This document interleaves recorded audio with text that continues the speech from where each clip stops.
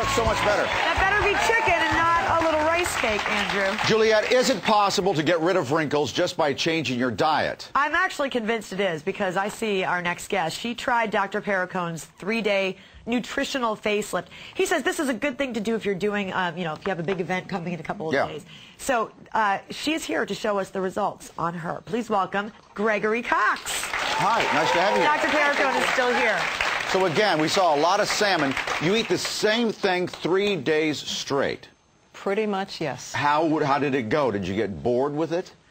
Well, having been a chef for most of my life, Oh. I messed around with the ingredients. I didn't change any of the ingredients, but I did combine them slightly differently. But it's all delicious food, really Yeah, in delicious. three so there days, was, come I on. know, three days. It's not that Yeah. long. Um, So- okay, so the first day, you're going through it, you're, you're amped up. Yeah, Yeah. three-day I'm- facelift. I'm all excited. By the end of the day, I'm going, okay, so where was that Starbucks today? Did I miss it? And Did you miss it? I did. I gave up my five favorite food groups, which are sugar, salt, wheat, oh, well, uh, perfect. any kind of grain other than oatmeal, and wine. But again, folks, if you want a three-day facelift, you can put up with this for three days. But we don't know what you looked like three days ago, so let's, let's take a picture. Here is Gregory Cox three days ago before she started this. Now, I was looking at this, and it's, you you have to kind of look, and sometimes TVs are, are a little bit difficult to see. But I could see, especially around your mouth, on the left-hand side, you have some, some lines there. On the right-hand side, you really don't. I see in person, your skin is glowing, and it's not makeup. Because I know when people put shimmer on, and you don't have any shimmer. Your eyes are very, very white, like the whites of your eyes are very white. You don't have any of the little lines around, you know, the red redness around your eyes. How do you feel? I feel absolutely fantastic. You I feel so rested, like I've been to a spa. I'm not kidding. You see the difference. I totally you do. feel the difference. Yes. What happened here with her?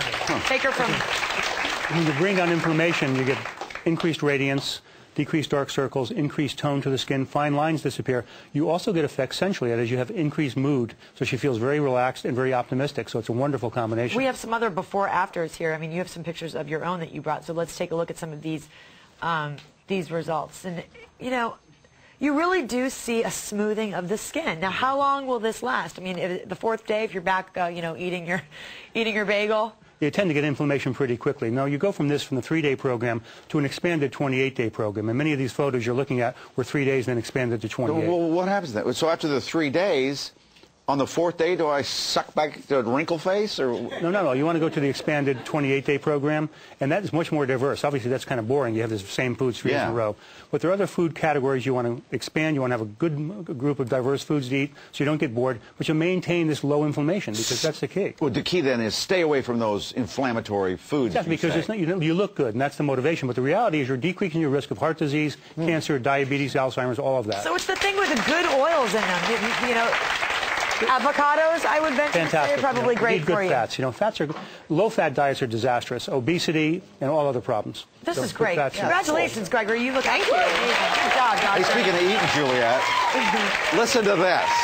How to eat lasagna and key lime pie and still lose weight. You're Is that possible? choose- switch up the ingredients a little bit. And you're going to meet a woman who lost 212 pounds.